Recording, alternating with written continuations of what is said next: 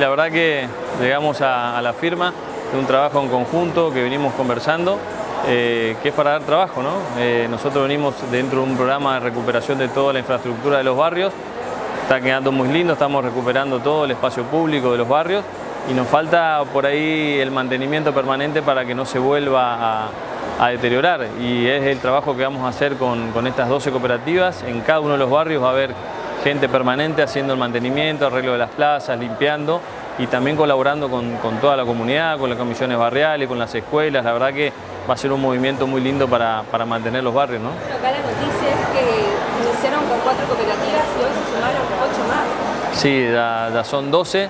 Eh, pudimos ampliar, como decía, todos los barrios de la EBI.